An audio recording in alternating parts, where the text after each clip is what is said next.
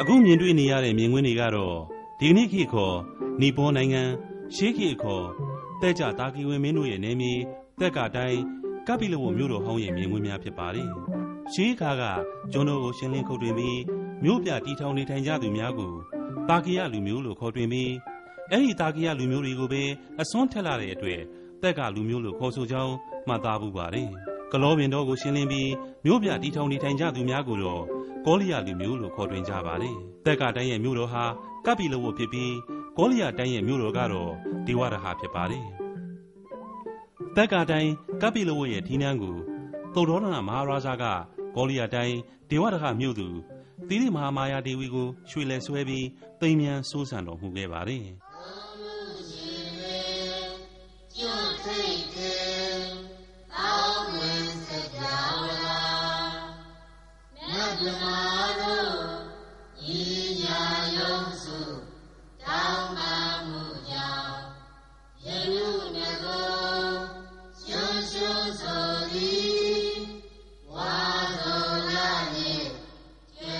မဟာမာယာဒေဝီဟာ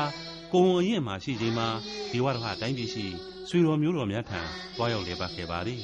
။ရာသီကာလသည်ကကစုံလရာသီတောင်းလေးတုပ်ဖြူနှွေးနဲ့မိုးအကူဖြစ်ပါသည်။စကားပန်းရင်ခပ်ပန်းတရဖီပန်းအင်ဂျင်ပန်းစတဲ့တောပန်းတောင်ပန်းတို့ပင်လုံးကျွတ်ဖိုးပွင့်လျက်ရှိနေပါသည်။အဲဒီလိုတာယာပွဲအာယုံများကြားမှာမာယာဒေဝီနင်းမြုပ်နေစဉ်ရုတ်တရက်ကမ္မဇလေးလှူရှားလာပြီးလဲမလို့ရိုင်သွားတာကြောင့် ခေါင်းပေါ်ရှိအင်ဂျင်ကိုင်းကိုဖမ်းကင်အားပြုလိုက်ရပါတယ်။အဲ့ဒီနေရာအဲ့ဒီဌာနမှာပဲဖျားအလောင်းတော်တိတ်တရမင်းသားငယ်ကိုဖွားမြင်တော်မူခဲ့ပါတယ်။အချိန်ဒီကမဟာသက်ကြီး68ခုနှစ် BC 623ကဆုံလပြည်တောက်ကြနေဖြစ်ပါတယ်။အလောင်းတော်တိတ်တရမင်းသားဖွားမြင်တော်မူရာကပိလဝတ်နေပြည်တော်နဲ့ဒေဝရဟနေပြည်တော်နှစ်ခုရဲ့ဂျားမှာတည်ရှိတဲ့နီပေါနိုင်ငံတဲကလုံမဏီဥယျာဉ်တော်ဖြစ်ပါတယ်။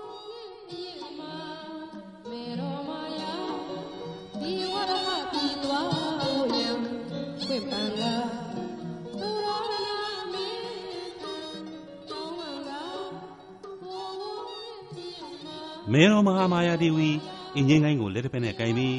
တိတ္တမင်းသားကိုဖွားမြင်တော်မူဟန်လုံမဏီဥယျာဉ်တော်အတွင်းကရုပ်တုဖြစ်ပါလေ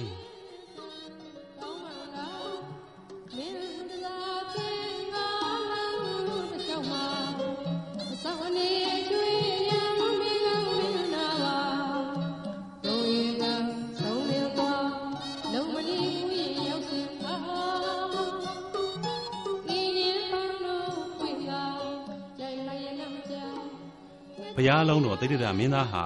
ဖွားတော်မူလင်ဖွားခြင်းမြေကြီးကိုဖွားနဲ့နင်းကမြောက်ဖက်သို့ခုနှစ်လန်းကြွားမြန်းတော်မူပြီးဒီလောကငါသည်အမြန်ဆုံးလို့ကြွေးကြော်တော်မူခဲ့ပါလေတိတ္တမင်းသားဖွားမြင်တော်မူတဲ့အထိမ်းမှညာလက်ကိုမြှောက်က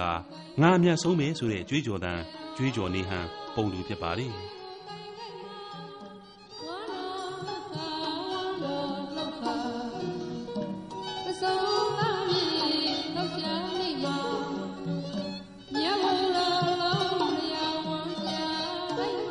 မာမေတော်မာယာဒေဝီဟာတိဋ္ဌိမင်းသားကိုဖွားမြင်တော်မူပြီးနောက်အခုမြင်တွေ့ရတဲ့ရေကန်တော်မှာရေသုံးသက်ခဲ့ပါလေ။မာယာဒေဝီရဲ့ရေကန်တော်လို့ခေါ်ကြပါလေ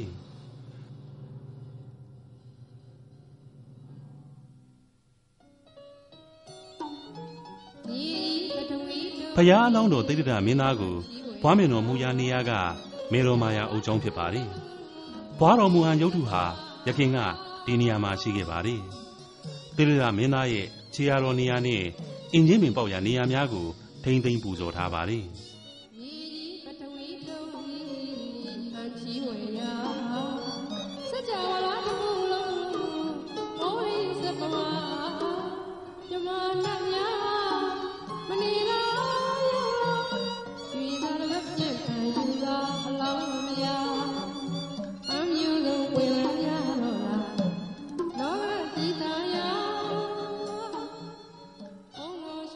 BC 249ခုနှစ်မှာ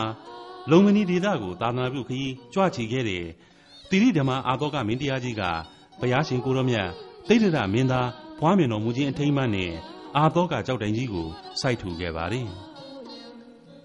အာသောကမင်းတရားကြီးကတက်ကြမှုနီမင်းတိဋ္ဌရဘွားတော်မူရာဤလုံမဏီဒေသကိုရောက်ရှိခဲ့ကြောင်းကြောက်တိုင်ကြီးမှာစာရန်ရေးထိုးထားပါတယ်။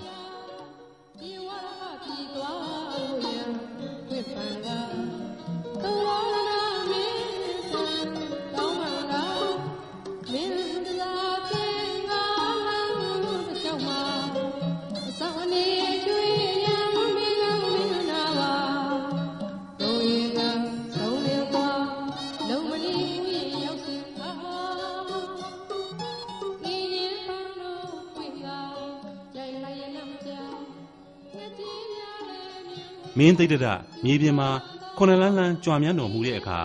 ကြာပွင်များမြေပြင်ကပေါက်လာခဲ့ပါလေ။အဲ့ဒီကြာပွင်လေးတွေပေါက်လာတဲ့နေရာကိုသီရိဓမ္မအာသောကမင်းတရားကဇေဒီငယ်များတည်ထားခဲ့ပါလေ။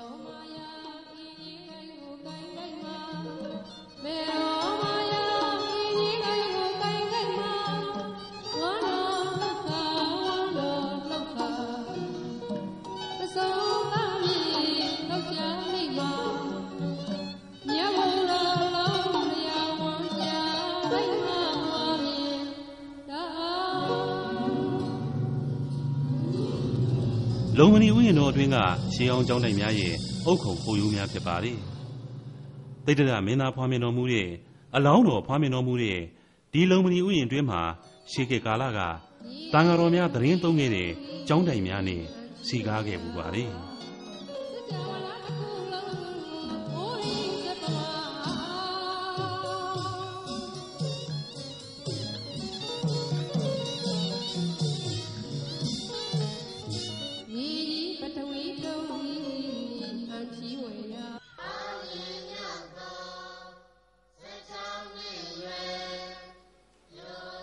ရှုမြင်ကြရတဲ့တောင်တန်းကြီးကတော့ဥရဝေလတောတွေကဖျားအလောင်းတော်6နှစ်ကြာဒုက္ခရစရိယာကျင့်တော်မူခဲ့တဲ့တောင်တန်းကြီးဖြစ်ပါတယ်။ဥရဝေလရဲ့အဓိပ္ပာယ်က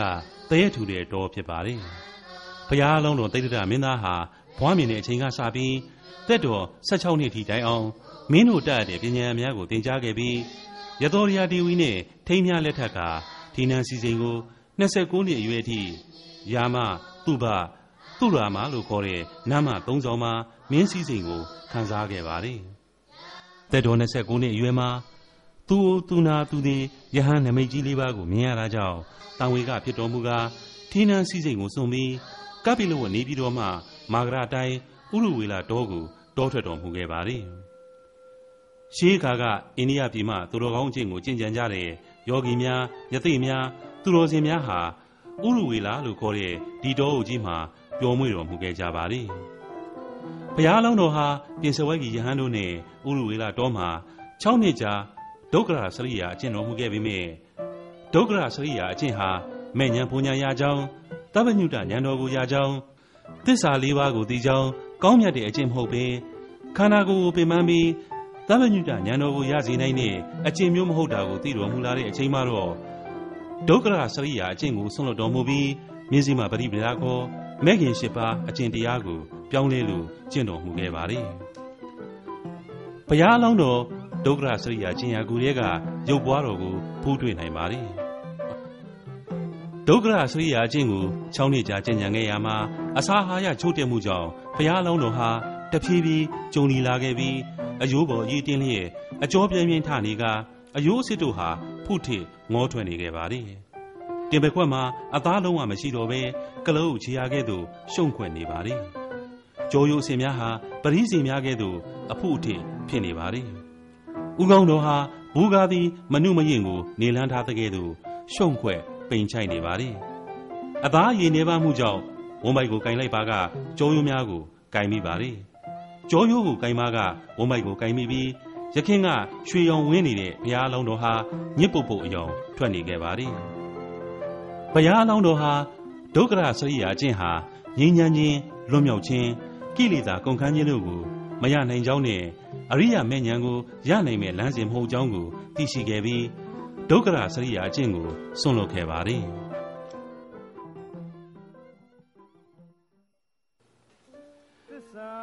အခုမြင်တွေ့ကြရတဲ့ကောက်ရိုးပုံများနဲ့ရွာလေးဟာ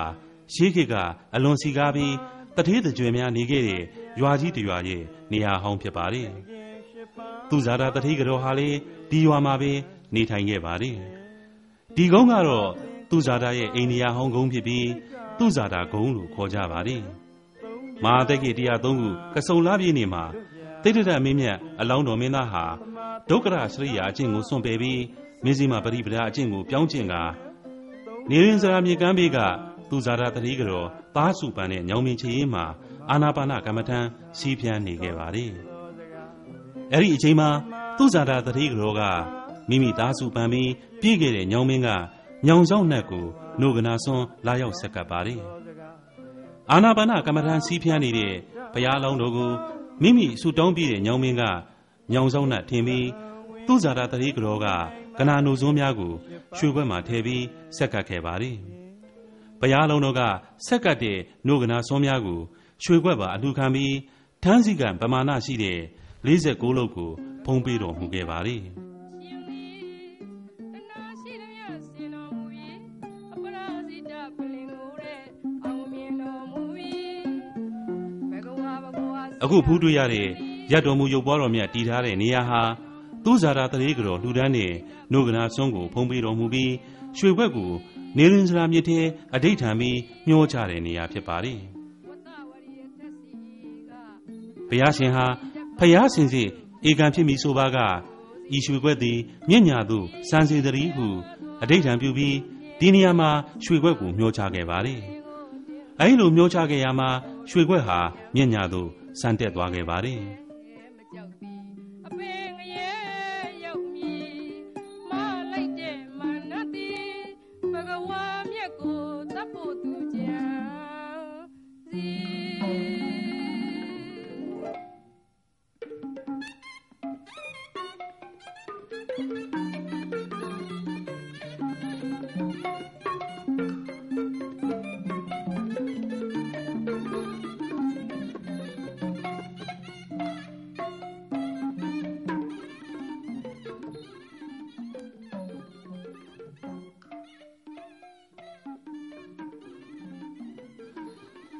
ဇာတာတတိကတော်ကနာနုစွန်းဆက်ကချင်းအထိမ်းမှဖြစ်ပါတယ်။မူလနေရာနဲ့မလမကမ်းမှာတည်ရှိပါတယ်။မြန်မာနိုင်ငံမှာကုသိုလ်ရှင်တဦးက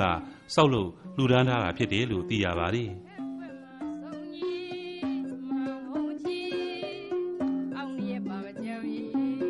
ဖန်လာသည်။နေရင်စရာမြေတွင်အဋိဋ္ဌံရွှေခွက်မျောပြီးနောက်ဘုရားလောင်းတော်ဟာဘောဓိမာနိုင်သို့ကြွာလန်းခဲ့ပါတယ်။ဘုရားလောင်းတော်ဘောဓိမာနိုင်သို့ကြွာလန်းစဉ် သုရိယမျက်ရည်သမားကမျက်ရှိစုပ်ကိုလူဒန်းခဲ့ပါတယ်။မျက်ရှိစုပ်ကိုလက်ခံပြီးနောက်ဘုရားလောင်းတော်ဟာကြရာဒေသဘောဓိမာနိုင်သို့ကြွာလန်းပါတ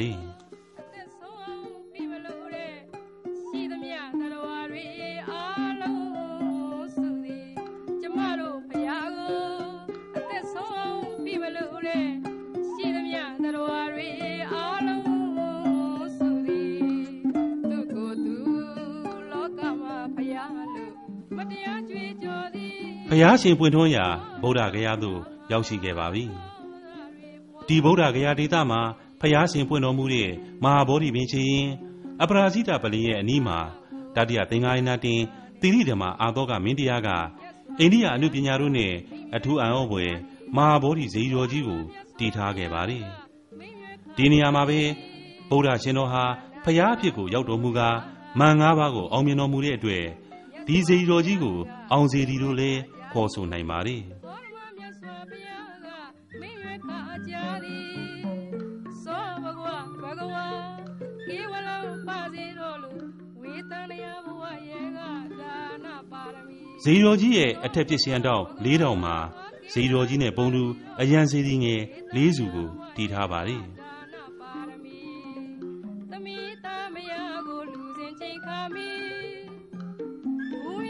ဇေယျတော်ကြီးရဲ့ကိုလုံးတော်တစ်ခွင်မှာမုဒ္ဒရာဟံမျိုးမျိုးနဲ့ရုပ်ပွားဆင်းသူတော်များကိုနိုင်ရန်ကပ်ခါထဲသွင်းပူဇော်ထားပါတယ်မန်ရစ်တဲ့ဉာဏ်စစ်တွေသည်စံညစ်ရေကြောမှာမျိုးဇေယျတော်ကြီးဟာဖဏတ်တော်48ပေညံတော်အမြင့်ပေ180ရှိပါတယ်ဝလာ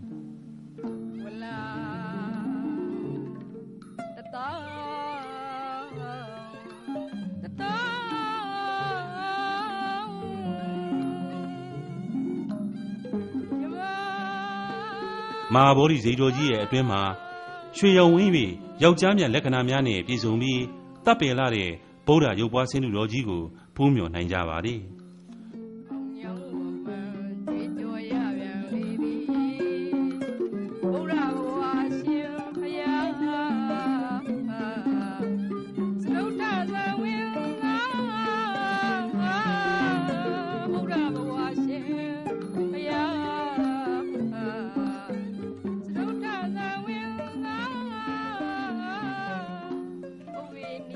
မဟာတက္ကိတရားသုံးခုကစုံလာပြီဗုဒ္ဓဟူးနေ့မှာဘုရားအလောင်းတော်တိတ္တရမင်းမြတ်ဟာဂယာဒေတာရဲ့မဟာဗောဓိညောင်မင်းချင်းရေးမှာမြေဤသမားတုတ်တိယလူဒန်းနဲ့မျက်ရှိစုပ်ကိုဖြန့်ခင်းရမှာပေါ်ထွန်းလာခဲ့တဲ့ရဟနာပလင်ပေါ်မှာအရှိဘက်ကိုမျက်နှာမူပြီးတနေ့နဲ့တညလုံးတရားနှလုံးကိုကျင့်သုံးတော်မူခဲ့ပါလေနေမွေးငင်းချိန်မှာမန္နတာဒေဝဗုဒ္ဓမံကိုအောင်တော်မူခဲ့ပါလေညာဥယံကာလမှာ ရှေးရှေးဘဝတို့ကိုပြန်လည်အောင်းမေနိုင်တဲ့ပုပ္ပေနိဝါဒနုဒတိဉာဏ်ရတော်မူပြီးတကောင်ယံကာလမှာအနည်းအဝေးအကြီးသေးအရာခတ်သိမ်းကိုထိုးပေါက်မြင်နိုင်တဲ့ဒိဗ္ဗဆက်ကူဉာဏ်နဲ့မိုးတော်ယံကာလမှာကိလေသာအာသဝတ္တရားတို့ကိုကုန်ခန်းစေတဲ့အာသွက်ခရဉာဏ်တော်ကိုရရှိတော်မူကားဖျားစင်စစ်ဧကံဖြစ်တော်မူခဲ့ပါလေဖျားဖြစ်သူရောက်တော်မူပြီးနောက်မဟာဗောဓိပင်ရင်အပရာဇိတပလင်တော်ထက်၌ ထက်ဝယ်ဖွဲ့ခွေးလျက်ခொနည်းပါလုံးဖလသမဘချမ်းသာကိုခံစားတော်မူခဲ့ပါလေပရမတတ္ထနေရာဖြစ်ပြီးပလင်ကတတ္ထဖြစ်ပါလေဒီနေရာဟာဖျားမြတ်လေးစုပွင့်တော်မူခဲ့ပြီးတဲ့ထူးမြတ်တဲ့အောင်မြေဖြစ်ပါလေတ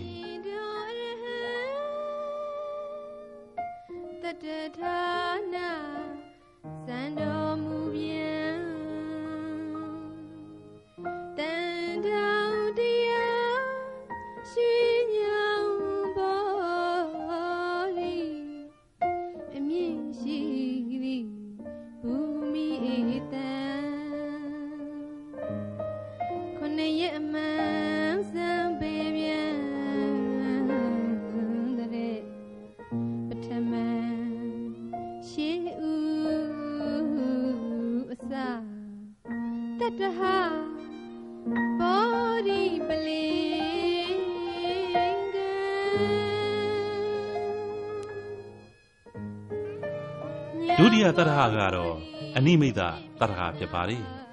ဖျားရှင်ဟာဘောဓိပင်ရဲ့အရှိမြောက်တောင်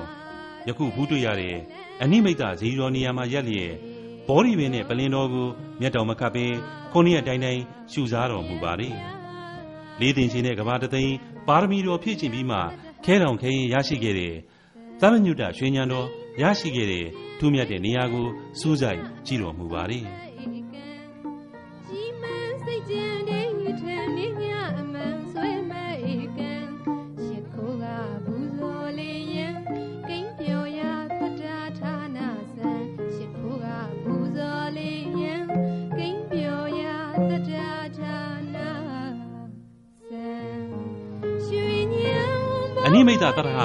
ရားရှင်ဟာ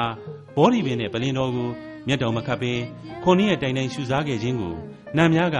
ကိလေသာမကုန်မှုတန်တရားဝင်ခဲ့ပါလေ။ဒါကြောင့်ဘုရားရှင်ဟာနတ်တို့ရဲ့တန်တရားကိုပျောက်စေရန်ကောင်းကင်၌ယန္နာစင်းညံဖန်ဆင်းပြီးဘောဓိပင်နဲ့အနိမိတ်တာကြားမှာခုနှစ်ရက်စင်းညံလျှောက်ကစံတော်မူခဲ့ပါလေ။ဘုရားရှင်စင်းညံလျှောက်ရမှာခြေလန်းတိုင်းလှမ်းတိုင်းမြေပြင်ကကြာပွင့်များပေါ်ပေါက်ခဲ့ပါလေ။ အဲ့ဒီဂျာဝင်များရဲ့အထိမ့်မှကြောက်စစ်ဂျာဝင်များဖြစ်ပါလေဒီတတ္တဟကိုတော့စင်ကမတတ္တဟလို့ခေါ်ပါလေလမ်းကြွားတစ်ဖန်အကွာဆက်နလန်းပြောစံပေပြန်ယရနာ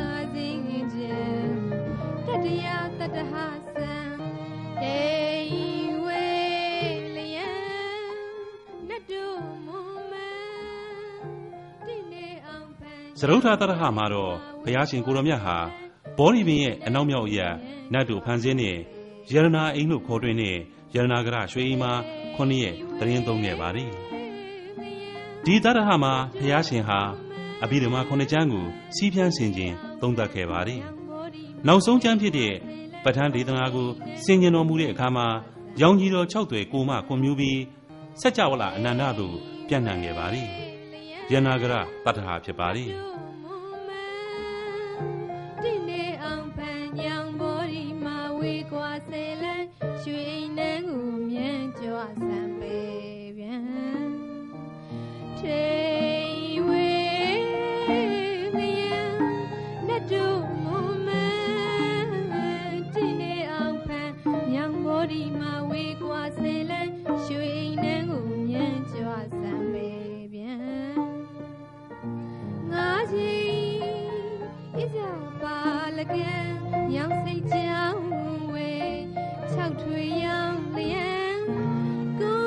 ပြင်စမမြောက်တတ္ထမှာတော့ဘုရားရှင်ဟာဘောဓိပင်ရဲ့အရှိဘက်နားက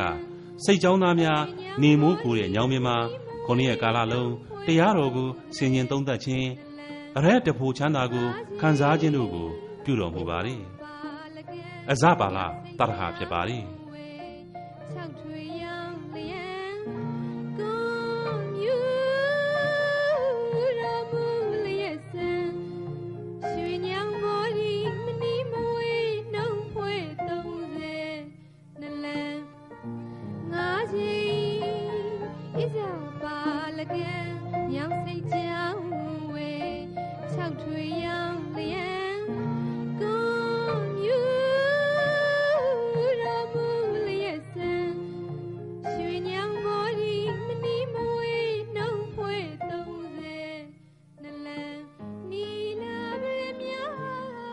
ဘောဓိပင်ရဲ့တောင်းမဲ့ဂိုက်300လောက်ကွာတဲ့နေရာမှာရေအိမ်တစ်ခုရှိပါလေလို့ကြွရောက်ပြန်အဲ့ဒီရေအိမ်ရဲ့ကမ်းစံနားမှာ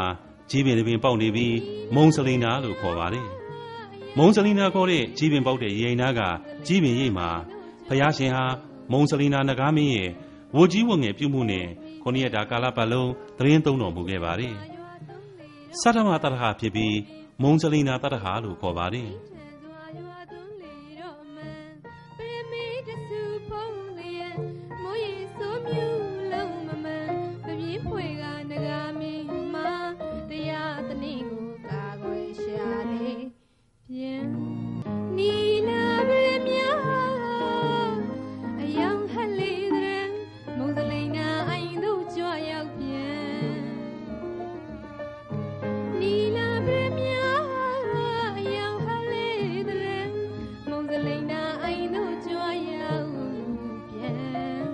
မုံစလီနာအိမ်တွင်ဘုရားရှင်ကိုရောမြတ်ကိုနဂါမင်းကမိမိခန္ဓာကိုယ်ကိုခွေရပြီးလေတံမိုးတံကာကွယ်ဆောင်ရှောက်ပုံထုလုပ်ထားတဲ့ငကယုံဘုရားဟာဗဗုဆရာကြီးဥဟန်တင်းရဲ့မြန်မာအမှုပညာလက်ရာဖြစ်ပြီးမြန်မာပြည်သူပြည်သားတို့ရဲ့ကောင်းမှုဖြစ်ပါလေမပြင်းဖွေကနဂါမင်းမတရားတနည်းကိုကာကွယ်ရှာလေပြန်ပါတတ္တမတတ္တဟဖြစ်တဲ့ရာဇာယရဏတတ္တဟမှာဘုရားရှင်ဟာ ဘောဓိပင်တောင်မဲ့ယွန်းယွန်းကလင်းလုံးမရင်အောက်မှာဖလသမာပတ်နဲ့ချမ်းသာစွာသတင်းသုံးတော်မူခဲ့ပါလေရက်တတဲ့ခုနှစ်ပတ်49ရက်လုံးလုံးသတင်းသုံးတော်မူခဲ့တဲ့ဘုရားရှင်ကိုရောမြတ်ဟာ49ရက်အတွင်းစွန့်ခဲပွဲဘောဇင်များမိဝဲသုံးဆွဲခြင်းမပြုခဲ့ပါဘူး။ရေချိုးရေတပ်ပဲခြင်းရေတောက်ခြင်းမပြုခဲ့ပါဘူး။လင်းလုံးမင်းအောင်မှာသတင်းသုံးပြီး49ရက်ပြည့်ပြီးမှသာ တဖုတ်တာဗလိကဂုံတဲ့ကြီးနောင်တို့ကတ်လူတဲ့စွန့်ကိုအလူခံပြီးဖုံးပေးတော်မူခဲ့ပါလေ။ဒါကြောင့်လေဒီလင်းလုံးမင်းတတ္တဟရာဇာယရဏတတ္တဟဟာဘုရားရှင်ကိုရောမြတ်ဖျားဖြစ်ပြီးတဲ့အချိန်မှာပထမဦးဆုံးလူသားများလူဒန်းတဲ့ဆွမ်းကိုစတင်ဖုံးပေးတဲ့နေ့စတင်ဖုံးပေးတဲ့တတ္တကနေရာဖြစ်တာကြောင့်ထူးကြပါလေ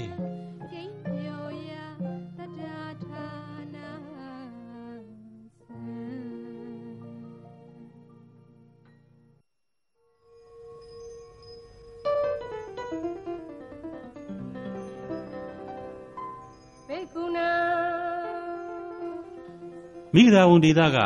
6ခန္ဒီစီရီကိုဖူးတွေ့ရပါလေဘုရားရှင်ကိုရောမြတ်ဟာဂယာဒေသမှသည်မိဂရာဝန်၌ပြင်စဝက်ကြီး9ဦးကိုဓမ္မစကြာတရားဥဟောရန်ကြွားခဲ့ပါလေ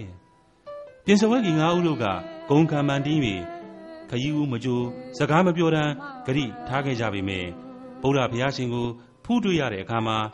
မိမိတို့ဂရိထားခဲ့တဲ့စကားများကိုသတိမရနိုင်တော့ဘဲ အိန္ဒိယသို့လာရောက်ခါသူ့ထက်ငါခရီးဦးကြိုးဆိုခဲ့ကြပါလေ။ BC 250ခန်းကအာသောကမင်းတရားကြီးကတင်စဝက်ကြီး9ဦးတို့ဖျားရှင်ဟာခရီးဦးကြိုးဆိုခဲ့တဲ့နေရာတော်အထိမ်းမှ6ခန်းဒီစေတီကြီးကိုတည်ထားခဲ့တာဖြစ်ပါလေ။ဖျားရှင်ကတင်စဝက်ကြီးတို့အားဓမ္မစကြာတရားဥဟောရာမိဂရာဝုံတော်ရဲ့မနေ့ခင်းကြည်နူးဝယ်မြင်ကွင်းဖြစ်ပါလေ။တရားမဟောပြင်စဝဲပြီးငါဟုတ်နဲ့ဓမ္မစကြာတို့ မိဂရာဝုံဟူသောအမည်မှာမိဂဒါယမှပြောင်းရွှေ့လာသောစကားဖြစ်ပါလေမိဂဒါယဟာတမင်ဖြစ်ပြီးဝုံကတောဖြစ်ပါလေတမင်တို့ကိုဘေးမဲ့ပေးရတောဖြစ်ပါလေနိကြောတာတမင်မင်းဇတ်တော်လာရှိသည့်အတိုင်းဖျားအလောင်းတော်ရွှေတမင်မင်းကိုအကြောင်းပြု၍ဘာနတိမင်းကတမင်တို့အားဘေးမဲ့ပေးခဲ့ခြင်းဖြစ်ပါလေ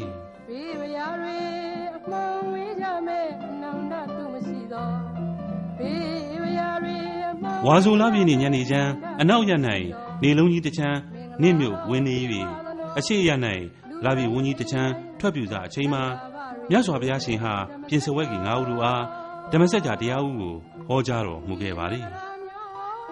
ဓမ္မစကြာတရားတော်ရဲ့အနှစ်ချုပ်ကတော့ဆင်းရဲခြင်းဆင်းရဲခြင်း၏အကြောင်းဆင်းရဲခြင်း၏ခြုံငင်းခြင်းနှင့်ဆင်းရဲခြင်းကိုခြုံငင်းရာသို့သွားသည့်လမ်းဟုသည့်သစ္စာလေးပါးနှင့်ထိုလေးပါးတွင်အကျုံးဝင်သောမဲခင်၈ပါးဖြစ်ပါလေ ဖယားရှင်ပြစ္ဆဝဂီတို့အားဓမ္မစကြာတရားဟုဟောတော်မူရာနေရာမှာတည်ထားခဲ့တဲ့ဓမ္မရာဇိကဇေဒီဖြစ်ပါတယ်။ဒါယကာကတော့အာသောကမင်းတရားဖြစ်ပြီး BC 250ခန်းကတည်ထားတာဖြစ်ပါတယ်။ဘုရားရှင်ဟောကြားတဲ့ဓမ္မစကြာတရားအဆုံးမှာပြစ္ဆဝဂီ9ဦးနဲ့အရှင်ကောဏညဟာသောတာပန်တည်ခဲ့ပါတယ်။အဲနောက်နေ့စဉ်ရက်ဆက်တရားဟောတော်မူရာပြစ္ဆဝဂီ9ဦးတို့တည်ရတစ်ပါးကြသောတာပန်တည်ခဲ့ပါတယ်။ ဘုရားရှင်တို့မစွန့်အပ်တဲ့အဝိဇဟိတဌာနဖြစ်ပါတယ်။ဝါဆိုလပြည့်ကျော်9ရက်နေ့မှာအနတ္တလက္ခဏာသုတ်တန်တရားတော်ကိုဘုရားရှင်ဟောကြားတော်မူတဲ့အခါပြင်စဝက်ကြီး9ဦးလုံးယဟန္တာအဖြစ်သို့ရောက်တော်မူခဲ့ပါတယ်။ဘုရားရှင်အနတ္တလက္ခဏာသုတ်ဟောတော်မူရာနေရာမှာတည်တဲ့ဓမေခစီရီတော်ဖြစ်ပါတယ်။အာသောကမင်းတရားကြီးရဲ့ကောင်းမှုဖြစ်ပါတယ်။ဇီတော်ကြီးရဲ့အောက်ပိုင်းကိုကြောက်တုံးများဖြင့်တိဆောက်ထားပြီး အပေါ်ပိုင်းကိုအုပ်ဖြင့်တိဆောက်ထားပါတယ်။ကြောက်တုံးများပေါ်မှာစัจ जा ပုံများချူပန်းချူးနွယ်များထွင်းထူတန်းစားဆင်ထားပါတယ်။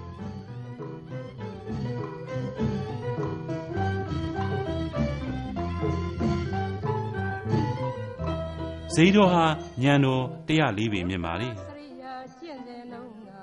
တို့ဖုံးလောက်ခိတ်ကျော်နေဘူးတာတရားမြတ်ကိုတကယ်သိကြဖို့မျောစာရ င်စင်ကမြင်လာပြန်တော့သူရဲ့တရားတော်ဒုက္ခစရိယာကျင့်တဲ့လုံးကတို့ဖုံးလောက်ခိတ်ကျော်နေဘူးတာတရားမြတ်ကိုတကယ်သိကြဖို့မျောစာရင်စင်ကမြင်လာပြန်တော့သူရဲ့တရားတော်ဘုရားရှင်ဟာနန္ဒီယာတတိဆောက်လုပ်လှူဒန်းခဲ့တဲ့နန္ဒီယာကျောင်းတော်ရာနေရာကိုဖူးမြင်နိုင်ပါလေနှစ်ပြည့်လို့ရွှေထုတ်မဲ့ရွှေနှုတ်ကပတ်တော်ဘု ရားစစ်ဖြစ်လို့ပလင်တဲ့မှာစံပေချတော်နန္ဒီယာတတိဟာမသေးခင်ကလေးကပင်နတ်ပြည်၌ပုံပိတ်မှန်ကြိုတင်ပေါက်ခဲ့သူဖြစ်ပါလေမြတ်စွာဘုရားတရင်သုံးတော်မူခဲ့တဲ့ကျောင်းတော်ဖြစ်တာကြောင့်မူလခန္ဓာကုတီလို့လည်းခေါ်ဆိုကြပါလေ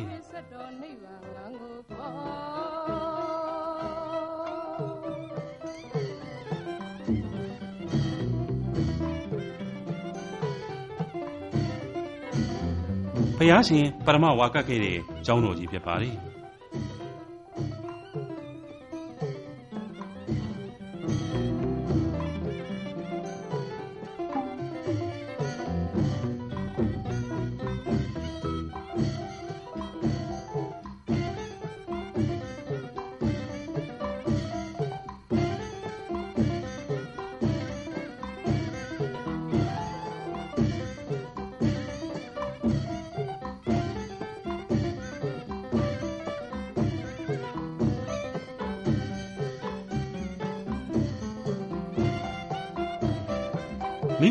တော်မှာဖះရှင်တရားဟောတော်မူရာမှာအသုံးပြုတော်မူတဲ့ပလင်ကြီးဖြစ်ပါလေဖះရှင်ဟာဤပလင်တော်ပေါ်မှာရတာတတိသားနဲ့အပေါင်းပါများကိုတရားဟောကအကျွတ်တရားရစေခဲ့ပြီးယဟန္တာဖြစ်စေခဲ့ပါလေစာရင်စင်ကမြင်လာပြန်သောသူရဲ့တရားတော်ဟောဒုက္ခစရိယာကျင့်စဉ်လုံးကတို့ဖုံးလောက်ခိတ်ကျော်နေဘုဒ္ဓတရားမြတ်ကိုတကယ်သိကြဖို့မျော စာရင်စင်ကမြင်လာပြန်သောသူရဲ့တရားတော်ဘုရားစစ်ဖြစ်လို့ပလင်တဲ့မိဂရာဝန်တော်မှာအာသောကမင်းကြီးစိုက်ထူခဲ့တဲ့ကြောက်တိုင်ဖြစ်ပါလေအိန္ဒိယနိုင်ငံရဲ့မောရိယာအင်ပါယာသမိုင်းကြောင်းဗုဒ္ဓသာသနာသမိုင်းနဲ့ယဉ်ကျေးမှုကြောက်စစ်လက်ရများအကြောင်းပြောကြမယ်ဆိုရင်မပါလျင်မပြည့်စုံတဲ့ကြောက်တိုင်ကြီးများဖြစ်ပါလေနှုတ်ကပတ်တော်အာသောကမင်းတရားကြီးက BC 250ခန့်မှာကိုယ်တိုင်ကိုယ်ဌာနကိုသာနာပြုရာမှာမိဂရာဝန်ကိုလည်း အလေးထားပြုပြင်ခဲ့ကြောင်းကိုအာသောကကြောက်တိုင်နဲ့ဇေဒီများကသက်သေခံနေပါလေဆက်တော်ဝါများဝမြန်တိုင်းဝမင်္ဂလာကုန်တော်ညောလူပေါင်းတွေရွတ်ဆိုကြစေတော်ဗုဒ္ဓမြတ်စွာမိဂရာဝမှာသတင်းသုံးစဉ်နေခင်းပိုင်း၌တမာပဝင်စားပြီးနေတန့်စဉ်ရအခန်းကိုဖူးမြော်နိုင်ကြပါသည်ဗုဒ္ဓမြတ်စွာရဲ့နိရောဓတမာပဓာတ်တို့ဖြင့်ပြည့်စုံနေနေရတော်ဖြစ်နိုင်ပါသည်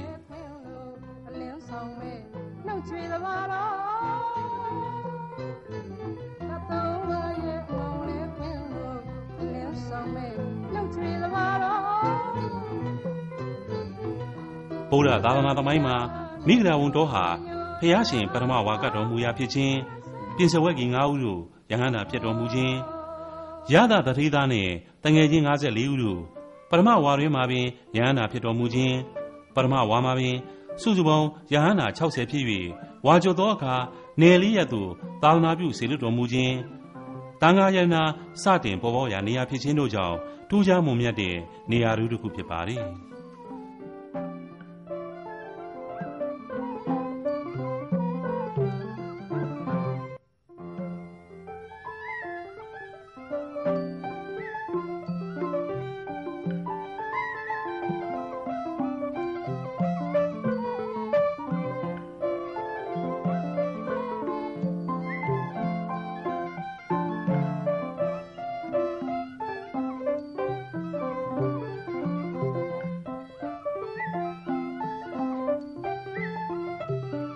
မာဂရအတိုင်းကတောင်ငါးလုံးကာကူရာဇုံမြို့ရှိဝိရှန္ဒီစေတီတည်ရှိရာရဏဂိရိတောင်ကိုဆက်သီးကျိုးတဲ့ကလထိုင်များနဲ့တက်နေခြင်းဖြစ်ပါသည်ရဏဂိရိတောင်ဟာပေတထောင်ကျော်မြင့်တယ်လို့သိရပါတယ်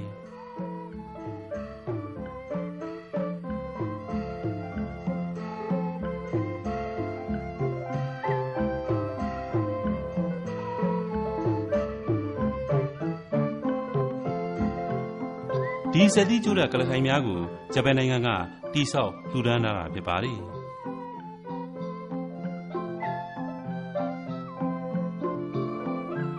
ရဏဂိရိတောင်ထိပ်ကဝိရှန္ဒီဇေဒီခေါ်ကမ္ဘာငြိမ်းချမ်းရေးဇေဒီကိုတပ်ပယ်စွာဖူးတွေ့ရပါတယ်။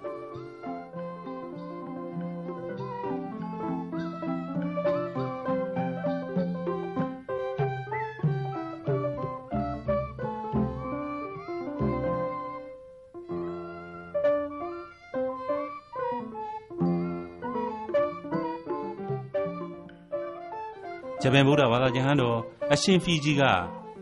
တာဃာတော်2500ပြည့်နှစ်အထိမ်းအမှန်တည်ထားခြင်းဖြစ်ပါတယ်ဝိရှန္ဒီဇေတော်ရဲ့လေးမျက်နှာမှာဗုဒ္ဓဘုရားရှင်ရဲ့ဖွားပွင့်ဟောဆံတန်ဝေဇနိယလေးဌာနကိုထွင်းထုပူဇော်ထားပါတယ်ပိမိသားယဘိမင်းတရားအဇာဇတ်ဘိမင်းတရားတို့ထိနှန်းဆံပြီးဘုရားရှင်ကိုရမြတ်ကိုဝေလူဝန်ကျောင်းတော်ကြီးလှူဒန်းသွားခဲ့တဲ့ရာဇူဆရာကြီးဇီဝကက သူ့ရဲ့တည့်ရဲ့ဥယျာဉ်ကြီးကိုဘုရားရှင်ကိုရမြတ်အားလှူဒန်းသွားခဲ့တဲ့ရာဇူသားတော်အဇာတတကကမဲတော်ဗိမိတရားမင်းကြီးအားထောင်သွင်းအကျဉ်းချပြီးတတ်ခဲ့တဲ့ရာဇူရှင်ဒေဝရကဘုရားရှင်ကိုရမြတ်ကြီးအားဂိတ်စကုတ်တောင်ပေါ်ကကြောင်မောင်းဆင်ပြီးတတ်ဖို့ရာကြံစီခဲ့တဲ့ရာဇူဗုဒ္ဓဝင်မှာဖြင့်ဖြစ်ရပေါင်းများစွာဆုံးတဲ့ရာဇူဖြစ်ပါတ ရဏဂိရိတောင်ထိပ်ဝိရှန္ဒီဇေဒီမှအရှိဘက်ကိုဆင်းသွားမယ်ဆိုရင်မြတ်စွာဘုရားရှင်ရဲ့ကျောင်းတော်ရာတည်ရှိတဲ့ဂိတ်ဆုပ်တောင်ထိပ်ကိုရောက်စီပါလေ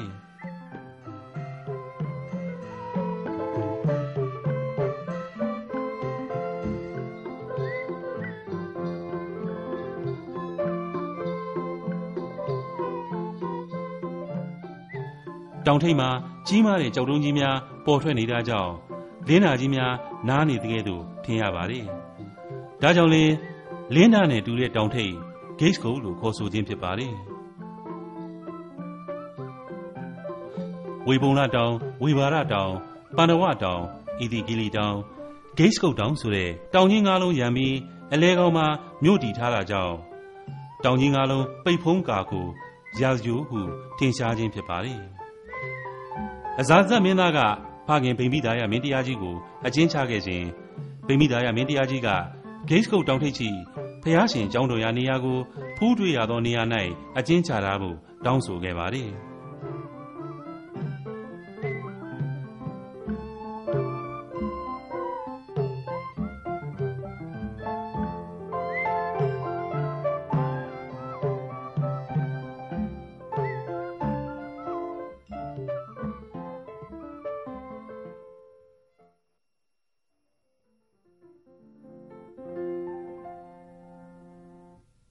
ဗ္ဗာန်နံ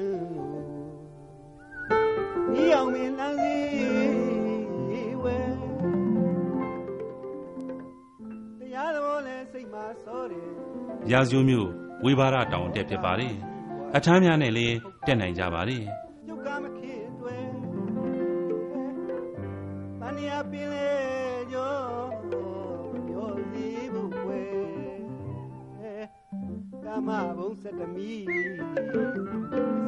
အတက်ခီးရဲ့တဝက်ခန့်မှာအရှင်မဟာကတ္တပသတင်းသုံးခဲ့တဲ့ပိပလိဘူးကိုဖူးတွေ့ရပါတယ်ဒီနေရာမှာမြတ်စွာဘုရားရှင်ကိုရောမြတ်ကအရှင်ကတ္တပမထေရမကြမ်းမာခြင်းကိုအကြောင်းပြု၍ကတ္တပဘုဇင်တုတ်ကိုဟောကြားတော်မူခဲ့ပါတယ်အရှင်မဟာကတ္တပရဲ့ငယ်အမည်ပိပလိကိုအစွဲပြု၍ပိပလိဘူးဟုအမည်တွင်ခဲ့တာဖြစ်ပါတယ်ဒါကြောင့်ဘာဝနာ ကမ္မထံကိုလည်းစီးပြန်မယ်တတိငါပဟန်ရဲ့ဆွဲမြဲပါတော့မယ်ငါပါခန္ဓာရဲ့မှန်ပါတယ်ခန္ဓာရဲ့ပုံမျိုးရှိစေငါပါခန္ဓာရဲ့မှန်ပါတယ်ခန္ဓာရဲ့ပုံမျိုးရှိစေတွေ့ကဆင်ញင်မယ်ခန္ဓာရဲ့ဝဲညနေပန်းမနှ တကဘာလုံးရှိရှိသမျှသပူမြေတခွင်ဝဲမြင်းမြင်းလေးသမျှတော့အစင်မတီးတဲ့ပညာရှိထားလို့ဆင်ញင်မယ်သင်္ခါရည်တရားကိုတော့သင်မြင်မယ်တော့ဘာတော့သာဘောအတရားကိုမမှားအောင်ရှောင်ဖဲမကြည့်အောင်ဆိုသလားလို့ကိုနာထောင်ပါမယ်သူမြတ်တဲ့ငါးပါးအာယုကုန်လုံးပဲအ နိစ္စနဲ့ဒုက္ခကိုကြံဆိုင်ွယ်အနတ္တသဘောပိပလိကူမတဆင့်ဝေဘာရတောင်ထိပ်ကိုဆက်တက်ခဲ့ပါကတတ္တပန္တိလိုင်ကုန်ကိုရောက်ရှိမှာဖြစ်ပါတယ်ပရမသင်္ဃာယနာတင်ယာတတ္တပန္တိစရီးပင်ပေါက်ရလိုင်ကုန်ကိုဖူးတွေ့ရပါတယ်ဘုရားရှင်ပြိဋိနိဗ္ဗာန်စံပြီးနောက်ရာဇိုပြည့်ရှင်အဇာဇတ်မင်းရဲ့ အဆောင်အရှောက်အထောက်ပံ့ကိုခံယူ၍အရှင်မဟာကတ္တပထေကြီးမှုတဲ့ယဟန္တာ900တို့ဟာခုနလတိုင်းပရမသင်္ဃာယနာတင်ပွဲကိုကျင်းပခဲ့ပါတယ်အရှင်မဟာကတ္တပထေကမေး၍ဝီနီးပိဋကတ်ကိုအရှင်ဥပါလိသုတ်တန်နဲ့အဘိဓမ္မာပိဋကတ်ကိုအရှင်အာနန္ဒာတို့ကရှင်းလင်းဖြေဆိုတော်မူကြပါလေပိဋကတ်သုံးပုံနိကေငါရစသဖြင့်စတဲ့ကြစီစဉ်တော်မူခဲ့ပါလေကြံဆိုင်ရွ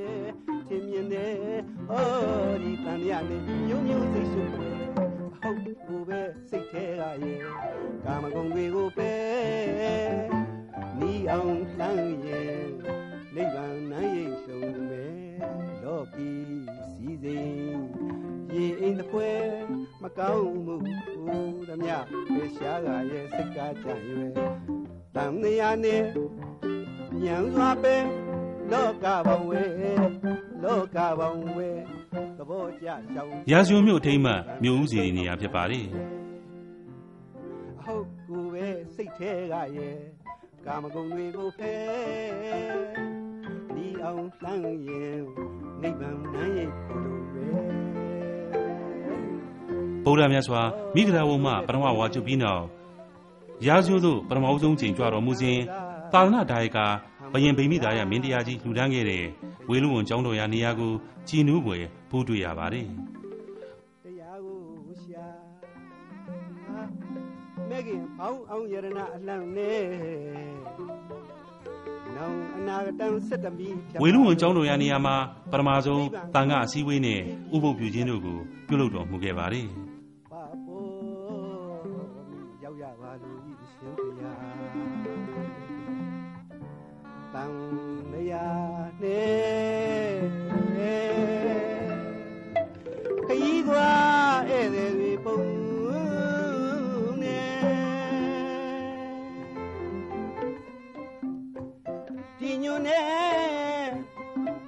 တဝဲတလေလေ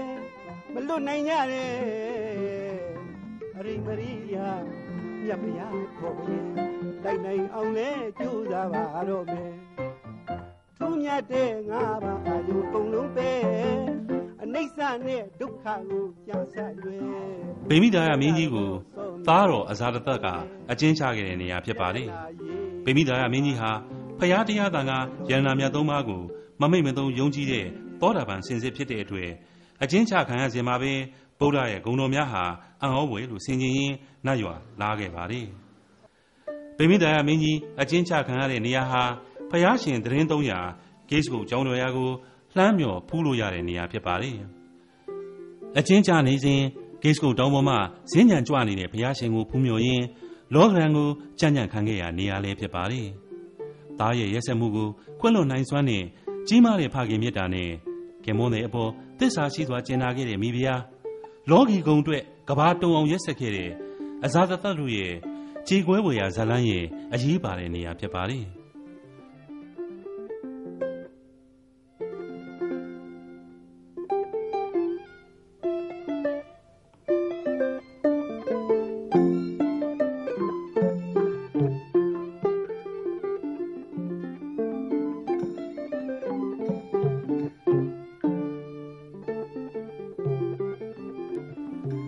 င်တွေ့ကြရတဲ့တောင်တန်းကြီးများကိုထွင်းဖောက်ထားတဲ့ထိုင်ငူကြီးကတော့ဗိမိတာယမင်းကြီးရဲ့ဘာနာတော်များတိုးလောင်ရာဘာနာရိုက်ဖြစ်ပါတယ်။စွန်ဘာနာရိုက်တနည်းအားဖြင့်တိုးနာဘာနာရိုက်လို့အမည်ရပါတယ်။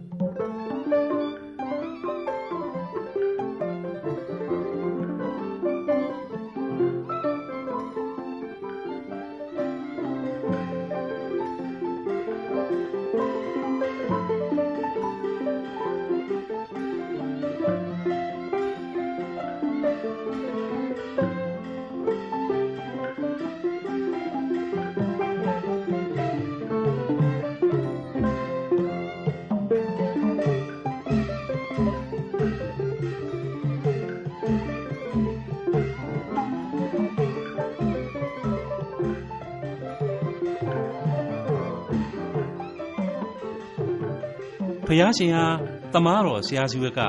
လှူဒန်းခဲ့တဲ့တည့်ရဲ့ဥယျာဉ်ကျောင်းနေရာဖြစ်ပါတယ်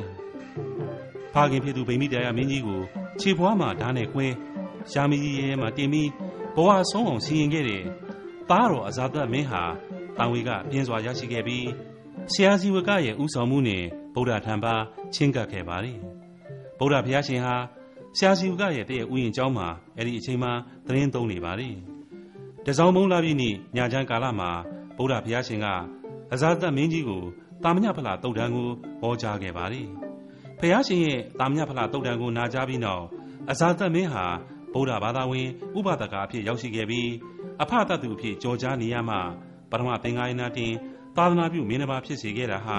ဇေဝကတရဲ့ဥယျာဉ်ရဲ့နေရာမှာပဲဖြစ်ပါတယ်။ဘုရားရှင်ကိုရောမြတ်ပြိဋိဘံစံတော်မူတဲ့အခါ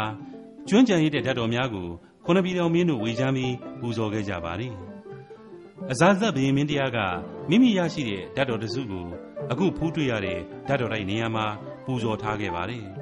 ။ဒီဓာတ်တော်တိုက်တွေကဓာတ်တော်တွေကိုဘုရားရှင်ပြိဋိဘံစံပြီးနှစ်ပေါင်း230ကျော်ကျော်မှာအထွတ်တရရောက်ခဲ့တဲ့သီတိဓမ္မအာသောကမင်းကြီးကတူဖော်ပြီးတိုင်းနိုင်ငံအသီးသီးမှာဇီဒီပေါင်း8400တည်ခဲ့ပါတယ်။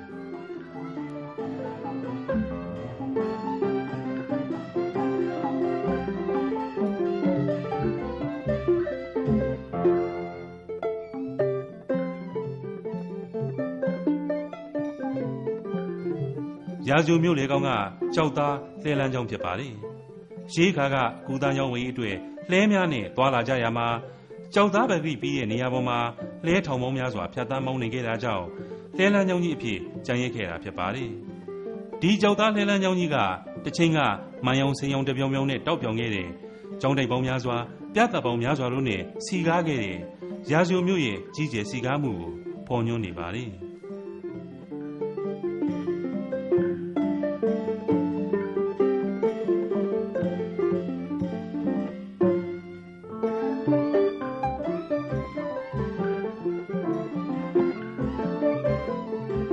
ဖျားရှင်ကိုရောမြတ်ရဲ့လက်ရယံဓမ္မသေနာပတိအရှင်သာရိပုတ္တရာမထေရသူမြတ်ကြီးဘွားမြင်တော်မူရာနာလကရွာမှာအရှင်သာရိပုတ္တရာမထေရသူမြတ်ကြီးရဲ့ပညာအေးတဲ့ဘွယ်လူကိုဂုံပြုတဲ့အနေနဲ့တည်ထောင်ခဲ့တဲ့နာလန္ဒတက္ကသိုလ်ဟောင်းကြီးဖြစ်ပါတယ်။မြတ်စွာဘုရားရှင်ဟာနာလန္ဒမြို့သူအကျိန်များစွာကြွတော်မူခဲ့ပါတယ်။ပြိဋိဘံဆံတော်မူတဲ့နှစ်မှာလဲရာဇဝမအပြန်နာလန္ဒာသို့ကြွတော်မူခဲ့ပါတယ်။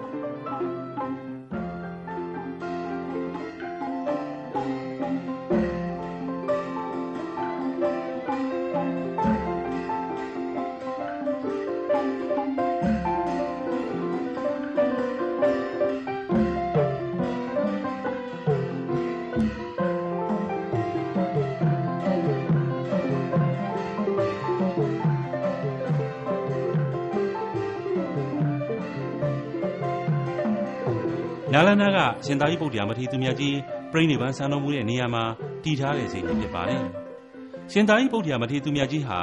သူမွေးဖွားရာတိုက်ခန်းမှာပဲပြိဋိဘံပြုတော်မူခဲ့ပါတယ်။ပြိဋိဘံပြုကနီးမိခင်အိုကြီးကိုတရားဟောကယ်တင်စောင့်ရှောက်တော်မူခဲ့တာကြောင့်မိခင်အိုကြီးသောတာပန်တည်ခဲ့ပါတယ်။ဒါကြောင့်လေမိခင်ကြီးနဲ့ဆွေမျိုးများကရှင်သာရိပုတ္တရာမထေရသူမြတ်ပြိဋိဘံဆံတော်မူရာနေရာမှာဒီစီဒီကိုတည်ထားခဲ့ပါတယ်။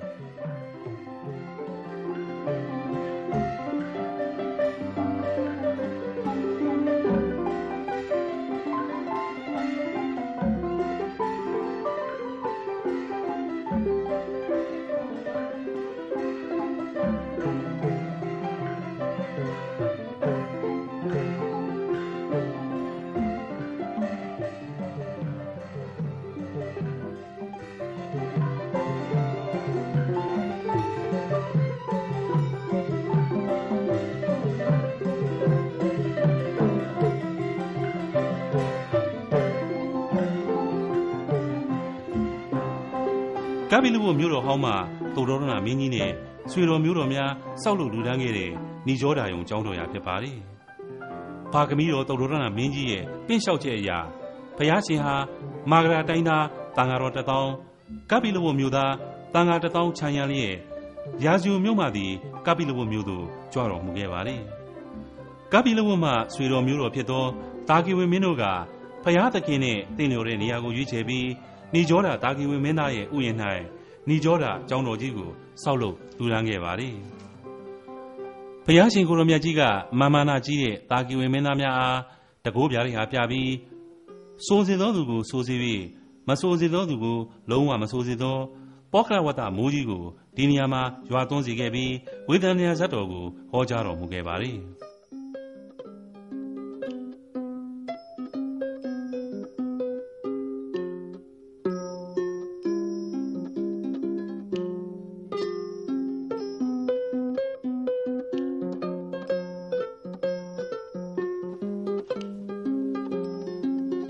ယ်။ဖျားရှင်တကိုးပြရိတ်ဟာပြတော်မူရာတာဝတိမြို့ကတရက်ဖြူကုန်းနေရာဖြစ်ပါတယ်။ဖျားရှင်ကိုတော်မြတ်ဟာခွန်ဝါမြောက်ဝါမဆိုမီဝါဟုကာလမှာဒိဋ္ဌိများနဲ့တကိုးပြိုင်ခဲ့ပါတယ်။ဒိဋ္ဌိများကတရက်ပင်မှသမျှခုတ်ထွင်ရှင်းလင်းထားပေမဲ့ဘရင်ဥယျာဉ်ဆောင်ထူထမ်းတဲ့တရက်သီးကိုဖျားရှင်ဖုံးမိတော်မူပြီးနောက်တရက်စီကိုမြေချစိုက်ပျိုးခဲ့ရာချက်ချင်းအပင်ပေါက်ခဲ့ပါတယ်။အဲ့ဒီတရက်ပင်ရင်မှာဖျားရှင်ဟာရေမိဆုံတကိုးပြရိတ်ဟာကိုပြကဒါရင်းသားတို့ နှစ်လန်းသုံးဘဝဖြင့်ကြွာလန်းပြီးမေရောနသားအားကျေးဇူးဆက်သောအဖြစ်အဘိဓမ္မာတရားဟောကြားရင်းခုနဝါမြောက်ဝါဆိုတော်မူခဲ့ပါလေ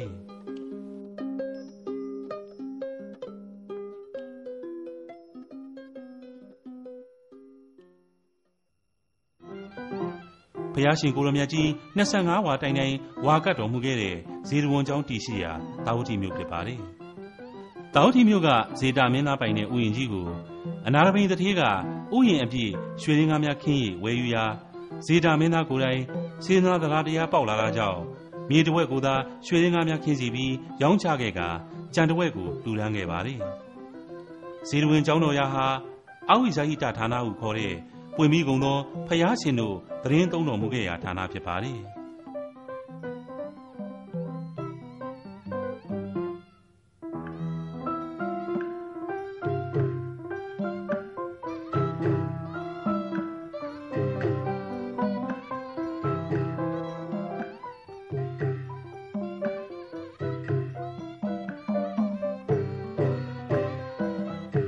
န်ကျောင်းတော်တွင်၌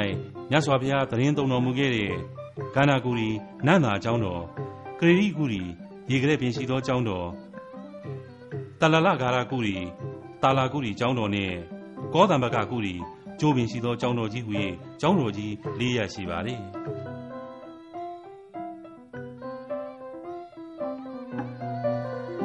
တောင်းထီမြို့၌ဘုရားရှင်တရင်သုံးတော်မူစဉ်ဘုရားရှင်ဟာမင်္ဂလာတရားတော်ကိုဟောကြားတော်မူခဲ့ပါသည် နန္ဒောပဒနာနဂါမင်းကိုချွတ်တော်မူခြင်းဗကဗြဟ္မာကိုချွတ်တော်မူခြင်းအင်္ဂုလိမာလကိုဆုံးမတော်မူခြင်းများဟာတောင်ထီပြည်၌ဘုရားရှင်တရင်သုံးတော်မူခဲ့စဉ်ထင်ရှားတဲ့ဖြစ်ရများဖြစ်ပါတယ်။မြတ်စွာဘုရားရှင်ဟာမဟုတ်တမ်းတရားဆွဆွဲခဲ့တဲ့ဇိန်ဇမာနဝိကာမြေမျိုးခံရတာလည်းတာဝတိမှာပဲဖြစ်ပါတ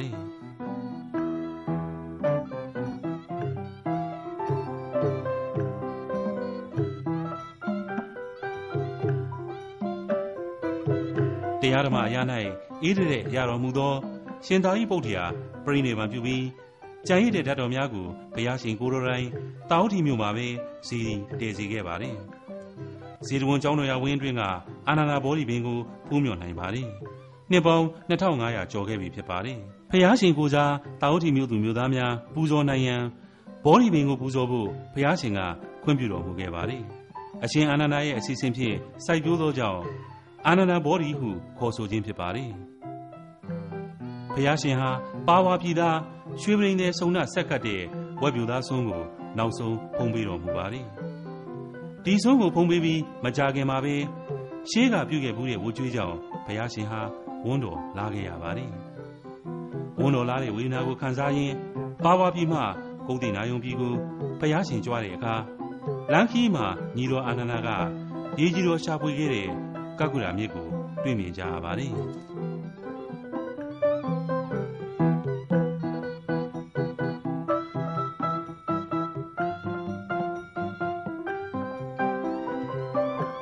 ဖယားရှင်ဟာကုတ်တိနာယုံပြည်ရောက်ခါနီးအခုဖူးတွေ့ရတဲ့နေရာမှာရေတပ်ပေတော်မူခဲ့ပါတယ်။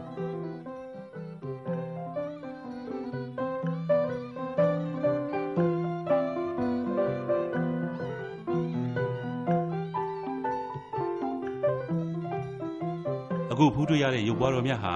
နောက်ဆုံးရေတပ်ပေတော်မူတဲ့နေရာမှာအထိမ့်မှတည်ထားတဲ့ရုပ်ပွားတော်ဖြစ်ပါတယ်။အေဒီတိယာစုကနိရှာခေလက်ရာဖြစ်ပြီးညံတော်9ပေ6လက်မှရှိပါတယ်။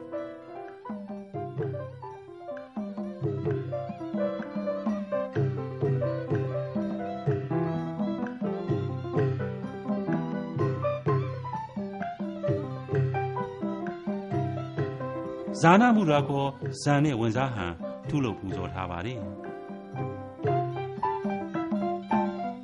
ဘုရားရှင်ဟာရေတပ်ပေတော်မူပြီးနောက်အာရင်များပြန်လေပြည့်ဖြိုးလာခဲ့ပါတယ်။အဲဒီနောက်မာလာမင်းတို့ရဲ့အင်ဂျင်ရကုန်းကိုကြွတော်မူခဲ့ပါတယ်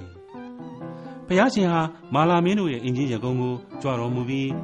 အင်ဂျင်ပြူနှစ်ပင်ကြားကညောင်ဆောင်တော်ထက်မှာမြောက်ရက်ကိုဥကောင်းပြုတော်မူလျက်ရောင်းတော်မူခဲ့ပါတယ်။ကုတ်တိနာယု၌ ဘုရားရှင်ပြိဋိဘံဆံဝင်ခြင်းဟာဖြင့်အကြောင်းသုံးပါးကိုမြင်၍ဖြစ်ပါသည်ကုတ်တိနာယု၌နိဗ္ဗာန်ယူခြင်းကြောင့်မဟာသုဒ္ဓရဏတုတ်ကိုဟောခွင့်တင်ခြင်းသုဘပရပိုက်ကိုဆုံးမတော်မူရခြင်းဓာတ်တော်များကိုဒေါနာပုံနာဖြန်း၍၍ဝေဖန်အပ်သောအကြောင်းရှိခြင်းသုံးပါးကြောင့်ဖြစ်ပါသည်ပြိဋိဘံဆံဝင်တော်မူတော့မယ်ဘုရားရှင်ကိုတရားမြမနှံများစွာနှင့်ကလုံနဂါးတို့ကအထူးထူးသောပူဇော်မှုမျိုးများနှင့်ပူဇော်ကြပါသည်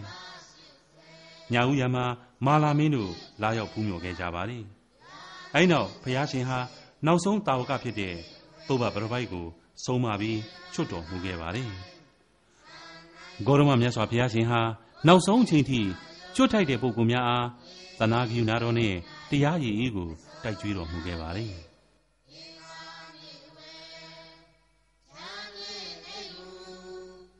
မာသက္ကိ148ခုကဆုံလာပြီအင်္ဂါနေ့အာယုန်တက်ခါနီးလင်းအားကြီးအချိန်မှာတော့ဘုရားရှင်ဟာပြိဋိဘံပြုတော်မူပါလေ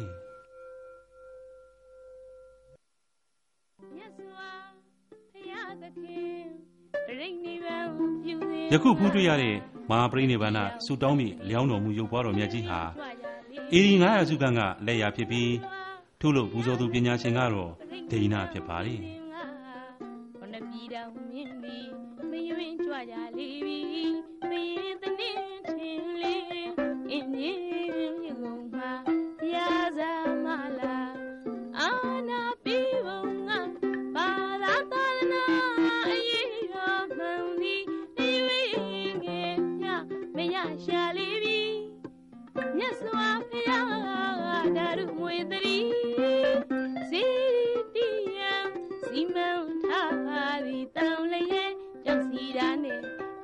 ခုခံမည်ခုနှစ်ပြည်တော်မင်းသည်တတိပလာပြရမည်ထုံးလိုပဲခုချီဒီကဲသူနောက်ကကျင်းပါတော်မူရဲ့ပြီဘုရားရှင်မွေ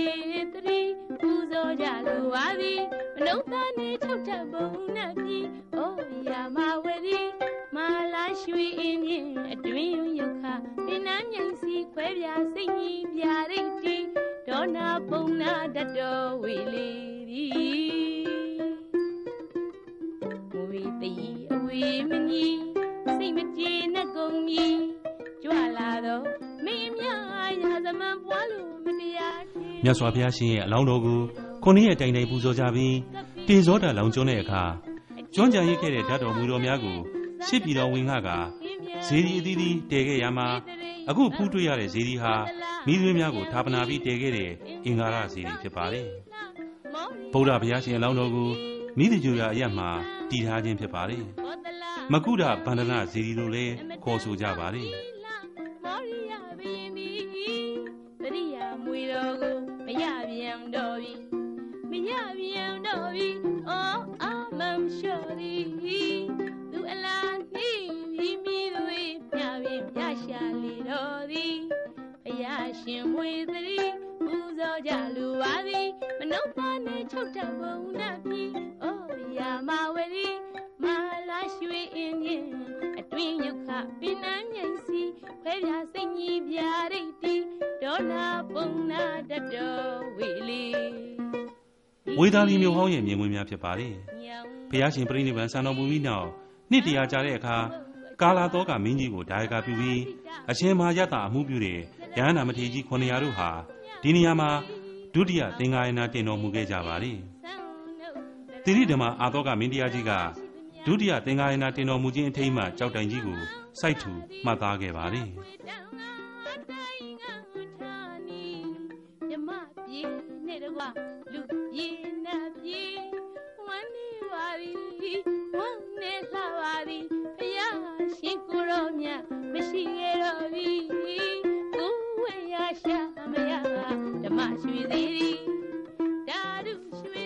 ရှေးကလက်ဇဝီမင်းတို့ရဲ့နေပြည်တော်ဖြစ်ခဲ့တဲ့ဝေသာလီပြည်ကလက်ဇဝီမင်းတို့ရဲ့ဓာတ်တော်တိုက်ကိုဖူးတွေ့ရပါတယ်။တတ်တော်မွေတော်ပေါင်းသုံးတိုက်ဘုံသားဝိနည်းအများတို့ရဲ့အားထားရာအစီဖြစ်တော်မူသောဘုရားရှင်သည်လောကသုံးတွင်ဘုံပြင်းတန်များ၌ဘိုလ်လူများစွာတတ္တဝါတို့ကို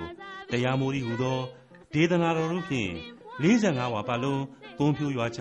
ထုတ်ဟဟောတော်မူပြီးမှပြည်နိဗ္ဗာန်ဌာနသို့မြန်းကြွဝန်ဆန်းတော်မူခဲ့ပြီဖြစ်ပါသည် ဗုဒ္ဓတော်မှယုံနာမကင်း၍ဖြစ်ချင်းပြက်ချင်းနှင့်ကြုံရပြီသည်ဟုတံဝေကညာရင်တန်ယာမသည်မိမိတို့၏ယုံနာများသည်လည်းအမြဲစင်းရဲမပိုင်တသည့်ဤကာယကိုဆင်ခြင်ကြကာနေဗ္ဗာန်မဲ့ဖို့ကိုမျက်မှောက်ပြုနိုင်ရာရည်တမ်း၍မြတ်ဗုဒ္ဓ၏မဟာဗုဒ္ဓဝင်းကိုစီစဉ်ပူဇော်တင်ဆက်လိုက်ရပါတယ်ခင်ဗျာမျိုး